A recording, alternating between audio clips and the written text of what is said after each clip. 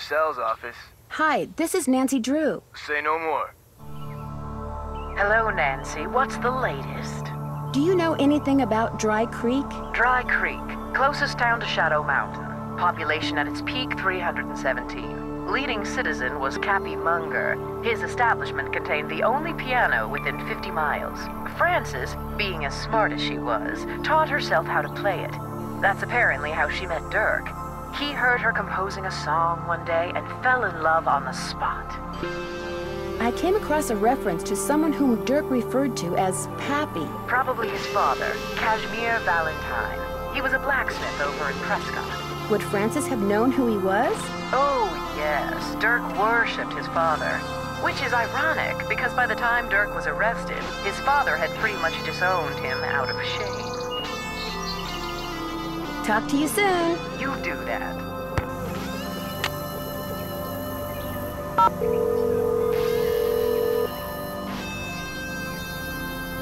Hello? It's me. So what's going on there? That's it for now. Have fun. Wish you were here. Kidding.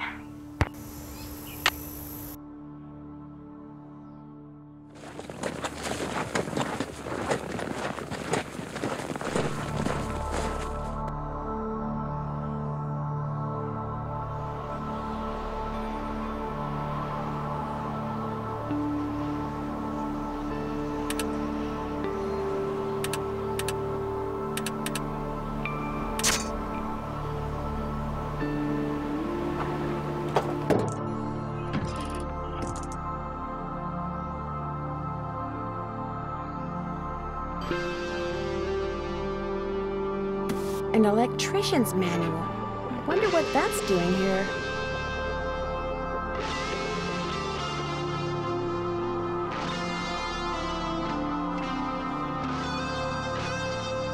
Interesting.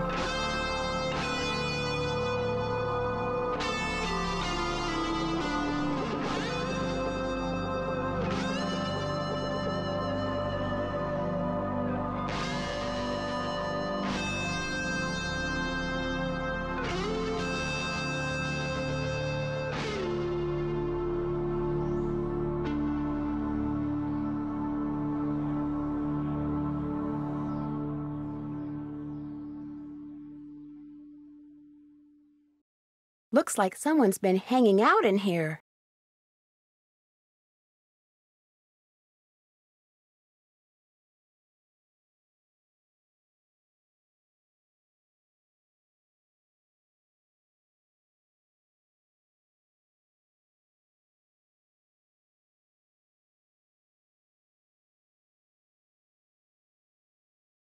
Looks like I need to put in a password.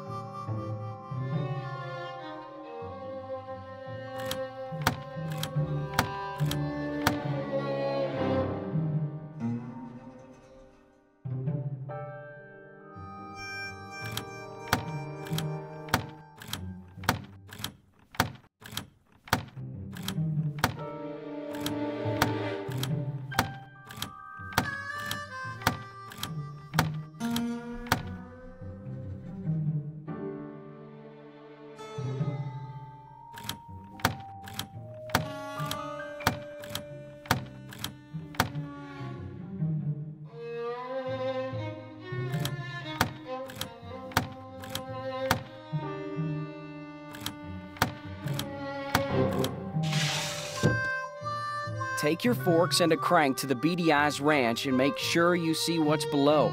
When you stick the forks in and give it a spin, off toward my treasure you'll go.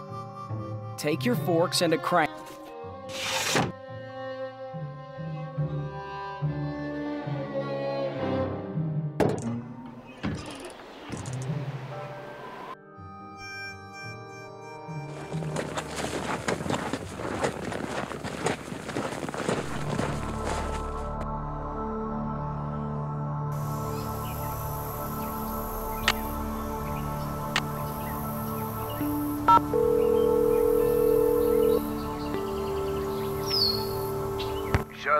Lieutenant office. Hi, this is Nancy Drew. Say no more. Hello, Nancy. What's the latest? Would you happen to know the brand name of crackers back in the 1880s whose slogan was Even the crumbs are crisp? Not offhand, but I certainly can find out. Details like that are why so many of my books have won awards for historical accuracy. Have you read any of my books? Uh, no. But Aunt Beth has. She's a big fan. I realize that my novels aren't everyone's cup of tea, but it wouldn't hurt to at least give them a try, would it? No. In fact, I'll pick one up first chance I get. And I'll send you the name of those crackers first chance I get. Talk to you soon. Look forward to it.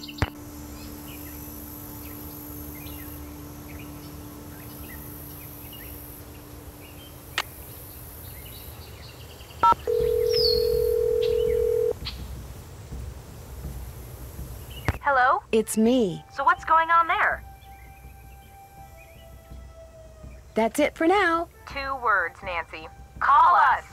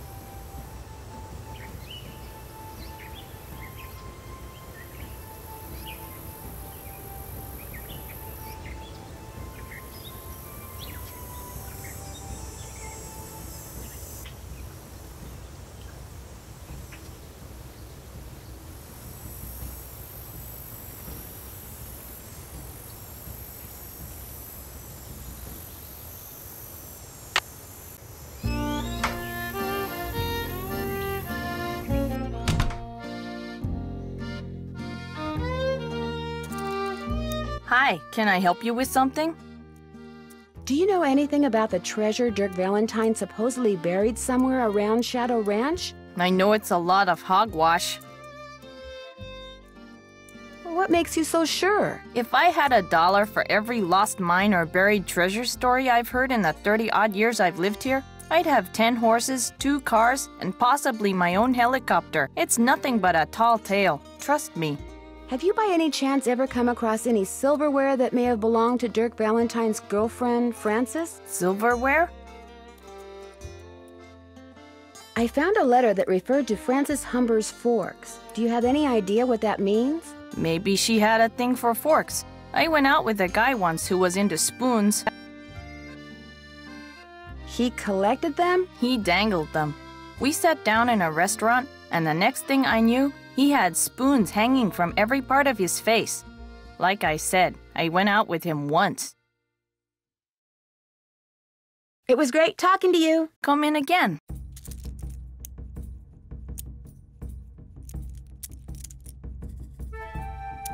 If I ask, maybe Mary will let me borrow these.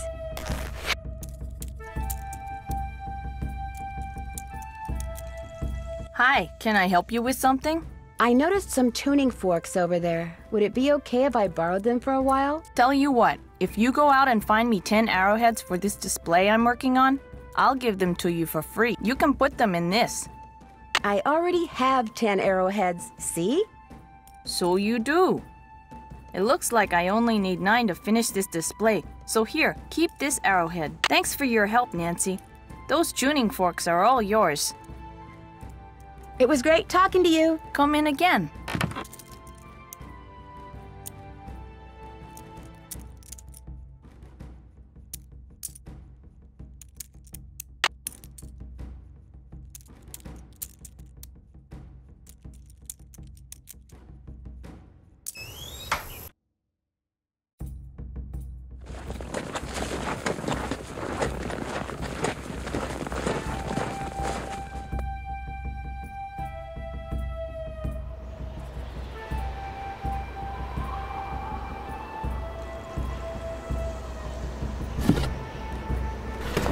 Bet Dirk custom made this, which means I better not go messing around in there.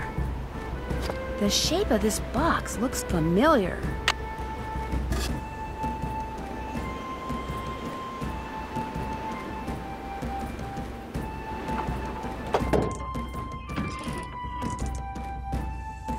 This outline reminds me of something.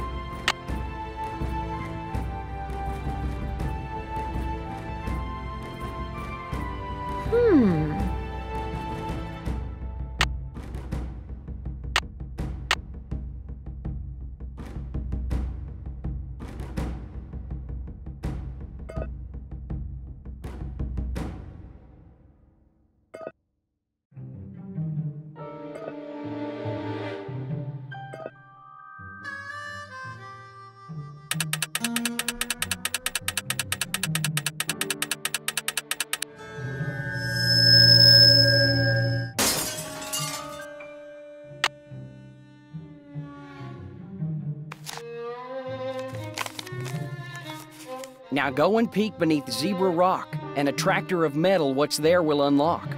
Now go and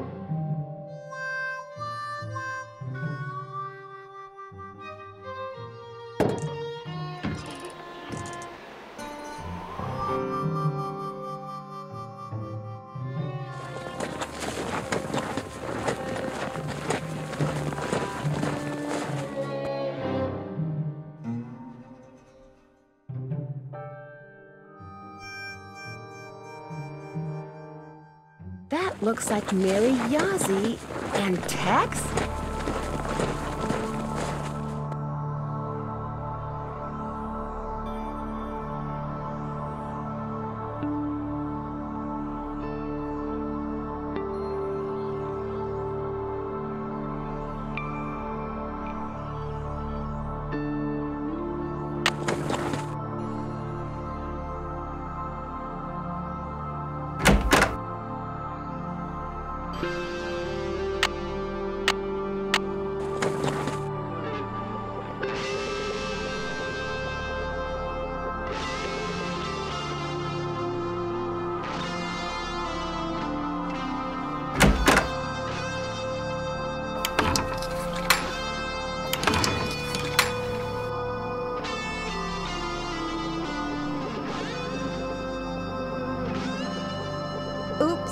Dave said to wear gloves.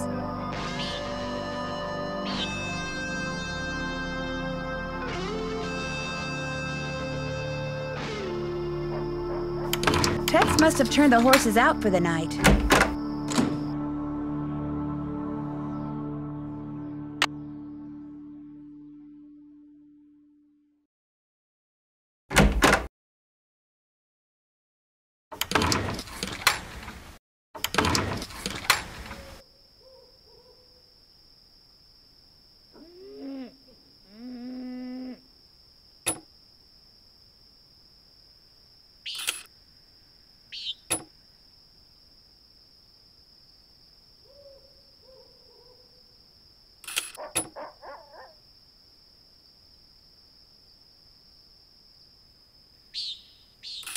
That doesn't go there.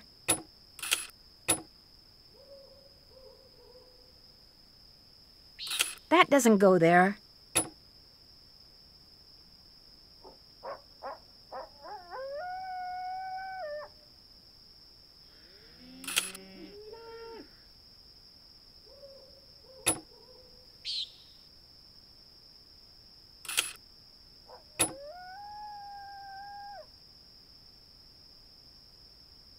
That doesn't go there. That looks right. That doesn't look right.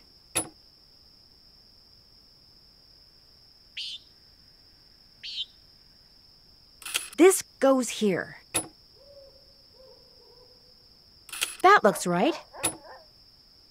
That doesn't go there.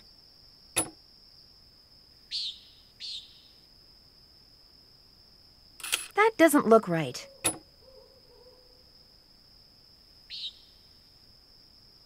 This goes here.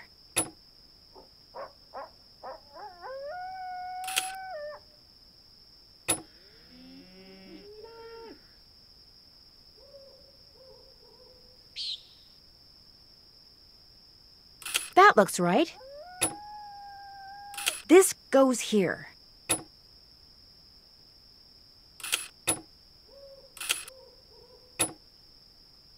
There. Sorry, coyotes. No chicken dinner for you tonight. Oh my gosh, my gloves. They're glowing. That powder in the ghost town.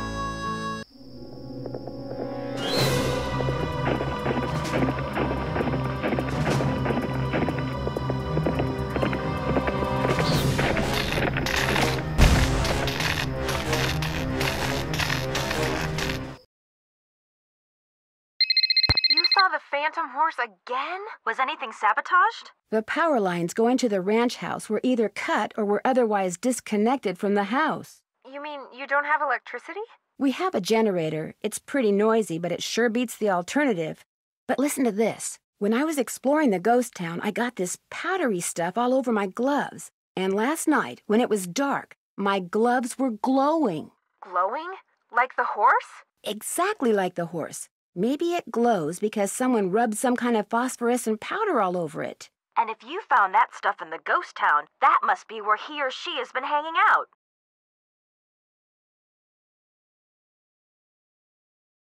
Which is why I think I'll go back out there first chance I get. And another thing, Dave was suspiciously absent during all the excitement last night. You better be careful, Nancy. If he and whoever's out at the ghost town are working together, they may decide you're a threat.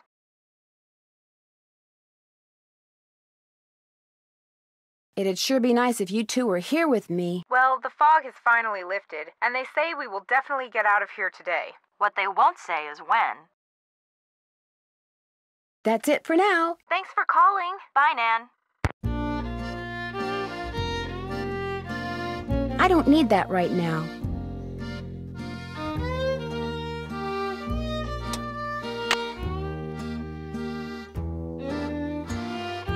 Nancy, I figured after last night you'd be long gone. I know I would be if I were you. Things aren't that bad. Not that bad. I'm in here with no water. I'm terrified to turn the gas on for fear something's gonna blow up. And if that generator goes, I could be cooking in the dark for days, weeks. Well, not weeks, because no way am I staying here that long. I'm so freaked out now, I'm not sure I can last one more day. Just hang in there. I have a feeling that all this is going to be over soon. Listen to you. Cool, calm, optimistic. I'm a wreck and you're a rock. Of course, you're also dead wrong and totally deluded, but I'm still impressed.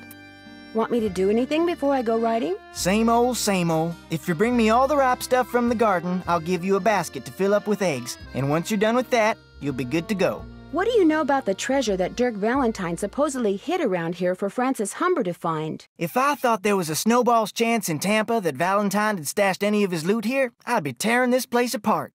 Why? What do you know about it? I just heard about it, that's all. When I heard that rumor, I started reading everything about Dirk Valentine I could get my hands on. But the more I read, the more it sounded like he suckered Frances into believing he'd hidden something for her, just to give people something to talk about when he was gone. Well, I'd better get going. Drop by any time. That horseshoe wasn't there before. Maybe the ghost horse threw it while it was running away last night.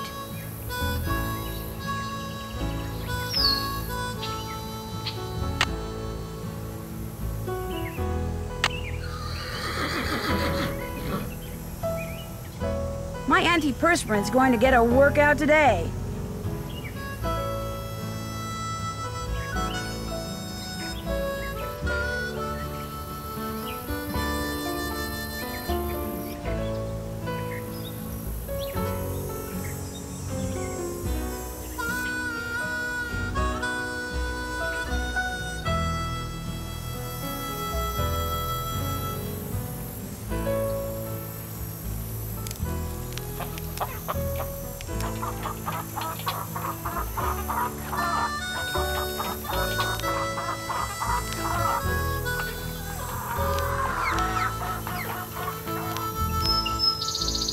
It's so hot, I should get these vegetables into Shorty right away. Pick those vegetables for me yet? You betcha. Good for you. Now, if you just fill that egg basket for me again, we'll be all set. Well, I'd better get going. Don't be a stranger.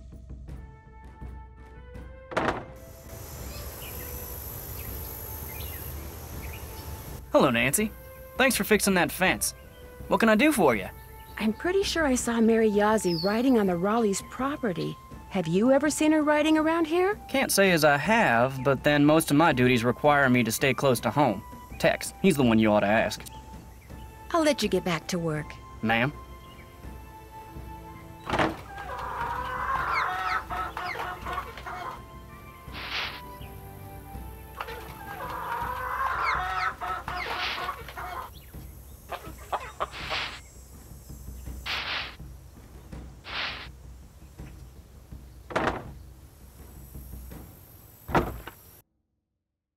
Can find more eggs than that.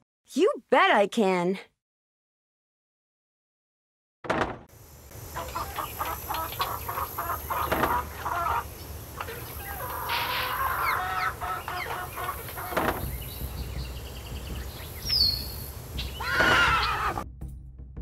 Got those eggs for me?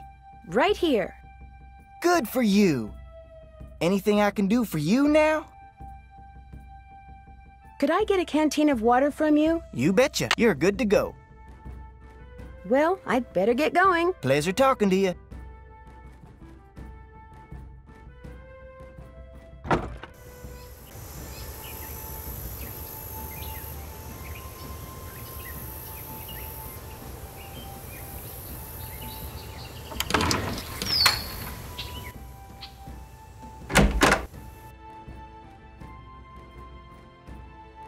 Something?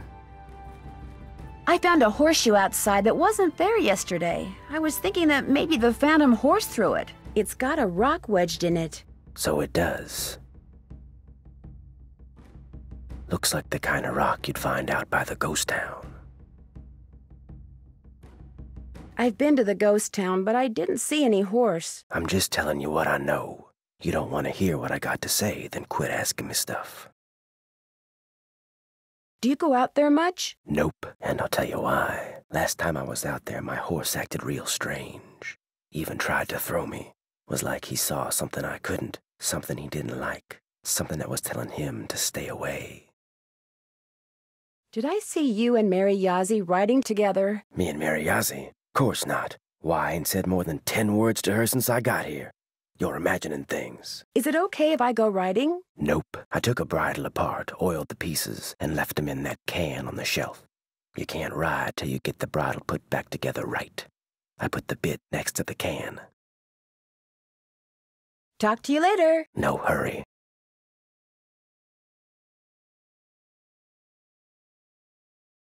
Okay, there's the headstall. Now, let's see.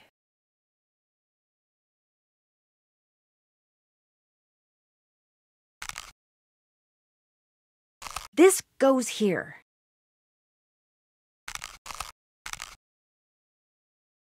That looks right. This goes here.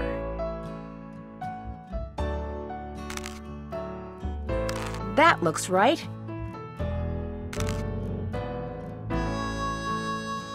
I'm getting there.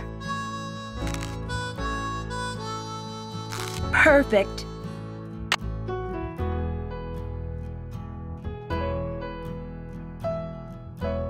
Need something? I put that bridle back together. Now may I go riding? Yep. Talk to you later. Just stay out of trouble.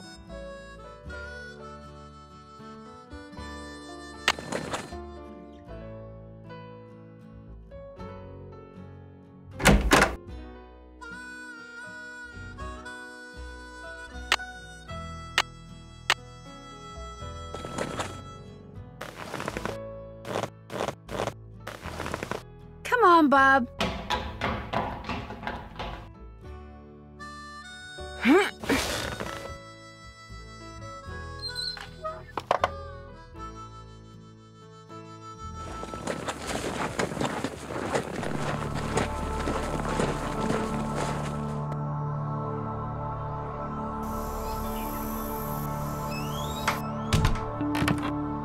Hi, can I help you with something? Tex told me about you know you and him. He did? Yeah, I kind of tricked him into telling me. I don't believe it. He swears me to secrecy, then goes blabbing it to some teenager? Oh well, it was bound to come out sometime. That's kind of what Tex said, too. I mean, we're in love. What's the big deal? Right, you're in love. What's the big deal? Wait a minute. He didn't tell you anything, did he? You tricked me. Oh, you're good. You are good. Why do you think you have to keep your love for each other a secret? Tex knows the Rawleys and I have been arguing about that property I want to buy. He's afraid if the Rawleys find out about us, they'll think he's collaborating with the enemy and fire him. The Raleighs wouldn't do that. I think the real reason Tex wants to keep it a secret is because he's got this rough, tough loner thing going. I think the idea of changing his image scares him. Knowing Tex, that does make sense. Anyway, Tex and I are in love. We tried to keep it a secret, and we blew it. You know, for a city slicker, you got a lot of country smarts. Why are you so interested in buying that property from the Rawleys? There's a whole bunch of petrified wood on it. Tex discovered it. Every so often, he'll bring some pieces in, and I'll use it in my jewelry or try to sell it. It was great talking to you. Ride safely.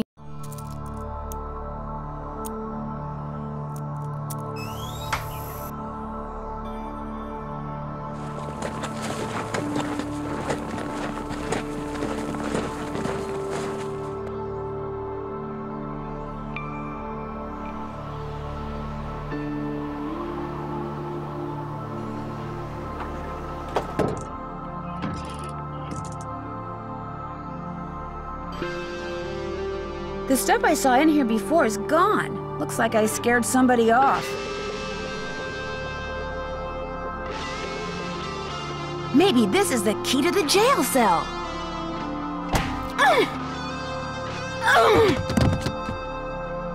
I'm in the jail cell.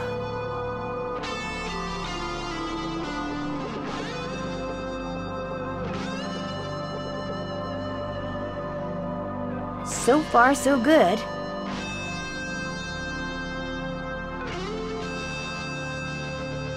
I'm getting there.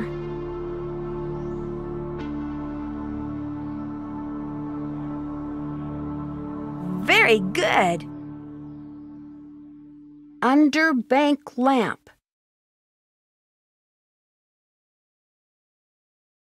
I'll bet that's the key. I need a rope.